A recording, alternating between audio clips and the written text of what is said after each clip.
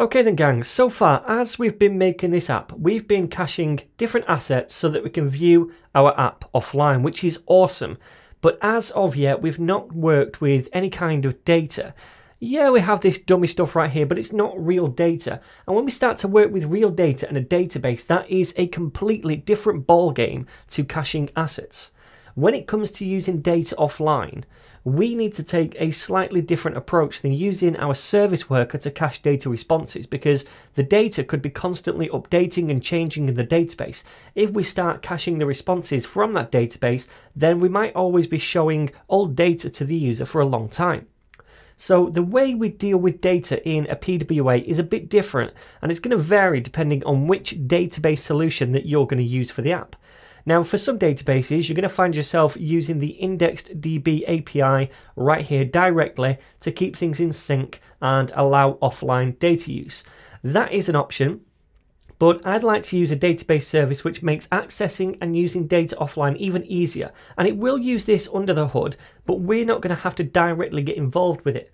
So the database solution that we're going to be using is going to help with all this, and it's called Firestore. It's created by Google Firebase. Now, Google Firebase is a bunch of different services which act as a backend to our application and we can see all of those different things right here. We have cloud functions that enables us to run code on a server.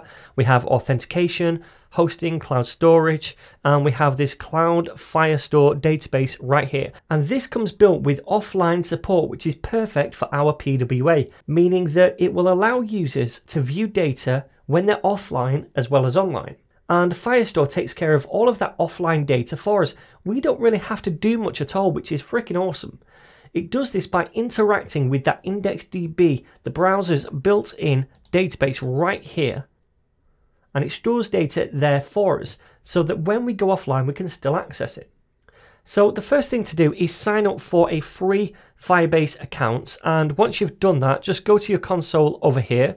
And this is going to list your different projects. I already have a couple, but I'm going to make a new one. And I'm going to call this food ninja PWA. Okay, so I'm going to accept the terms at the bottom and create this project. This will just take a few seconds and then when it's done just press on continue and this is going to take you to the control panel for this project. Now this area right here is essentially going to act as the backend now to our application and we could use any one of these different services, authentication, the database, storage, etc. We're not going to focus on all the different things. If you want to learn more, I do have a whole series on authentication and on Firestore and on hosting. So feel free to check out those playlists on my YouTube channel. For now, we're going to focus on the database. And again, I'm not going to go into a lot of depth about Firestore. I'm going to teach you all the basics here and how to hook it up with our PWA. But if you want to learn more about Firestore, I'll leave a link to the complete Firestore playlist down below. Anyway, once you've clicked on database, create a database. Make sure it's the Cloud Firestore one and not the one down here, the real-time database. So create this database and we want to start in test mode, which means we can easily develop and we can access all the data from our application over here. But later on, make sure if you publish your app, you address the different Firestore rules so that only the appropriate people can access the data. Okay, so let's enable this for now. And this here now is our Firestore database. So in Firestore databases, we have collections of data, and each collection will store documents of a particular type of data. For example, we could make a collection called users, and that could store user documents. So each document would represent a single user, right? What we're going to do is make a collection called recipes and that's going to create the collection for us. When we first create a collection, it's going to ask us to also create our first document for that collection. Now this document ID right here, this is going to be a unique ID for each individual document so that if we want to get a reference to a particular document later on, we can use that unique ID and everyone is going to be different. Now we don't need to fill this in ourselves, it's going to auto generate if we leave it blank. So what we want to do is make up a few different fields. Now, fields and values are basically key value pairs, a bit like a JavaScript object. So we're going to have a property name and a property value essentially, and each one has a type as well. So we're going to say we want a title of the recipe, and that title could be something like Ninja Soup. And we also want to add a new field, and that field is going to be the ingredients. And this is going to be mushrooms, onions, and garlic. Okay, so now we're going to save this document and it's going to save it to this collection. So we see now we have this recipes collection right here and in a second we're going to see this document right here. And when we click on this document, it will open up on the right and we can see the two different properties, ingredients and title, and the values of those properties as well. And this is the unique ID that Google Firebase created for us as well.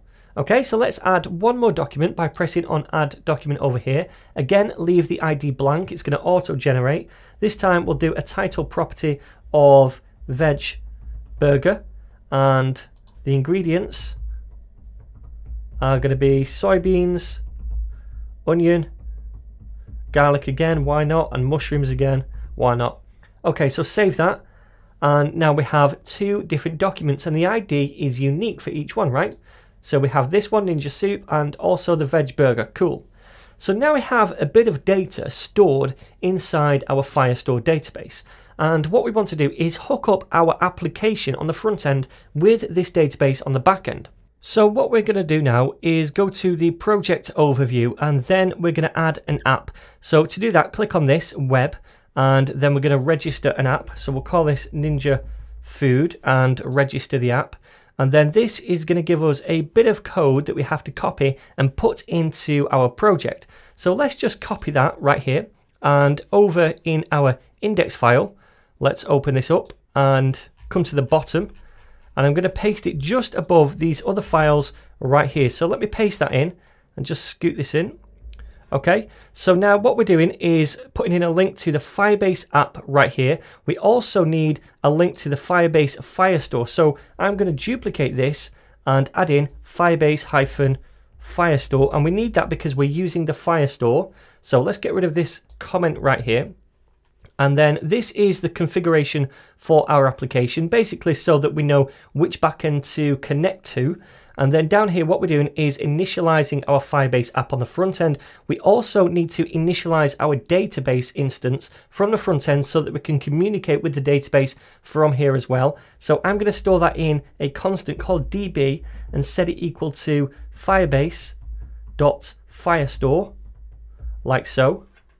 And now in the future, if we ever want to communicate with the database from our own application, we're going to use this DB constant to do things like get data or save data, etc.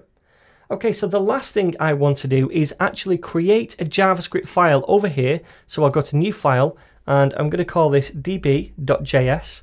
And this is going to be all the JavaScript that we write to interact with the database. So I'm going to hook that up from the index file as well. So let's do another script tag and we'll say the source is going to be equal to forward slash js forward slash db.js. So now we're hooked up to that as well.